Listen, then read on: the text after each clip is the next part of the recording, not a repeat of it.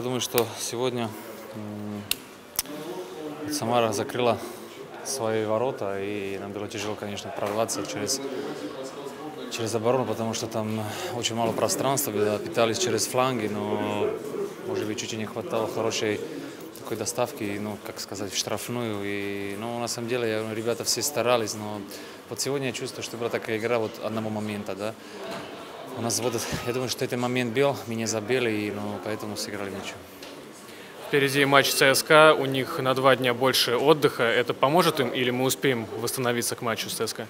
Конечно, успеем. Я думаю, что тренерский штаб все сделал за то, чтобы подготовить к тренировкам команду, подготовить то, чтобы команда хорошо восстановила. Так что вот этом я думаю, не, не вижу проблем, потому что мы играли Лигу Европы и там тоже играли через три дня. Так что пять дней это достаточно времени, чтобы команда была готова на ЦСКА.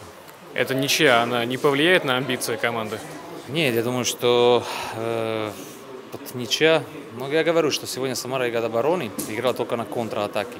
Так что сегодня, вот я говорю, что не хватало то, что вот тяжело всегда играть, когда играешь э, перед номером, и вот команда, которая только защищает ворота, да, вот всегда тяжело. Так, как играем дома, так играем на въезде. И тоже было самое вот э, игры ну, которые были перед этим матчем. Так что надо двигаться дальше. Я думаю, что Э, команда психологически на хорошем э, подъеме, так что сегодня уже надо еще подумать об этой игре. И завтра уже готовиться к ЦСКА, потому что совсем другая игра.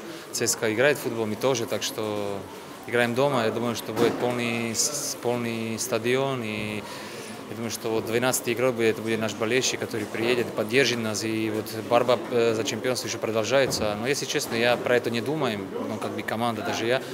И двигаемся шаг за шагом.